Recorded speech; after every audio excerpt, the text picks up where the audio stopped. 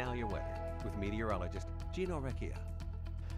14 of the first 18 days in April have seen above average temperatures, but tomorrow we won't be adding to that. It is going to be cooler weather heading in here, and you could see that in the teal and the blue color shades coming in here from Canada as the cold front's pushing down southward. So 61 degrees, we won't be seeing that anytime soon because behind that cold front, an Arctic high pressure is going to be dropping our temperatures down into the 40s, and that's going to be making it feel like 10 to 15 degrees below the normal for this time of year, which is 55 right now. But a beautiful sunrise this morning. Can't go wrong with that for this Sunday. And we continued with some filtered sunshine, mostly sunny, partly cloudy skies.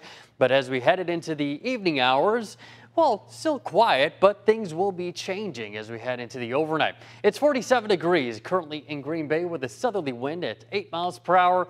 In Appleton, it is 46, 48 in Oshkosh, 47 in Pembine, 45 in Ephraim, 41 Manitowoc, 39 a cool spot right now in Sheboygan.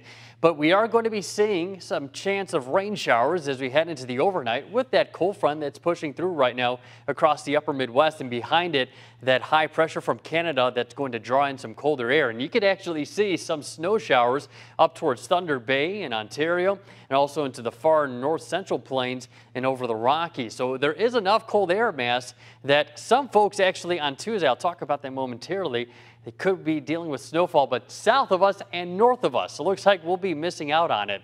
Closer look does show those scattered rain showers advancing eastward and timing out pretty well than what we were talking about earlier in the 5 o'clock newscast. Here we are at 1145. That line of showers starting to make its way towards Antigo. But as it continues to propagate eastward, it is going to lose its intensity and turning more scattered and isolated. So it's not going to be a big heavy rain, just a little bit of a drizzle almost.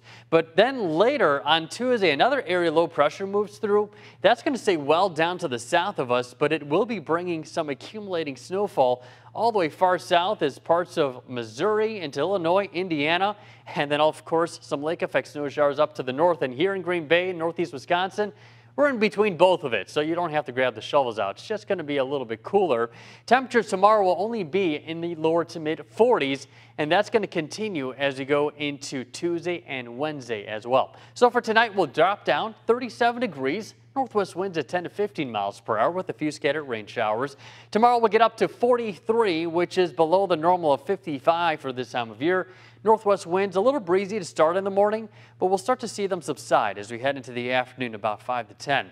42 Tuesday, a slight chance of a wintry mix rain shower. Same thing on the day on Wednesday, 43, but then we start to warm up back into the 50s as we get towards Thursday, Friday. Slight chance of a rain shower on Saturday and then drying out on Sunday with partly cloudy skies. All right, thanks, James.